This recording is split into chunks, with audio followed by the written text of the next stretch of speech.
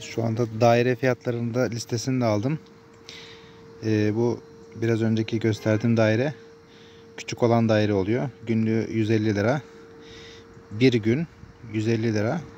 Onun bir büyük dairesi. Yine içi aynı sadece odalar büyük. O da 170 lira. Aynı şekilde günlük olarak geçerli. 1, 2, 3, 4 gün sayısı oluyor. Aşağıya doğru 14 güne kadar. Fiyatları küçük olunca e, gösterdiğim daire geçerli. Büyük olunca da e, onun biraz metrekaresi büyük. İçerisi aynı sadece. Değişen bir şey yok. Fiyatlar bu şekilde.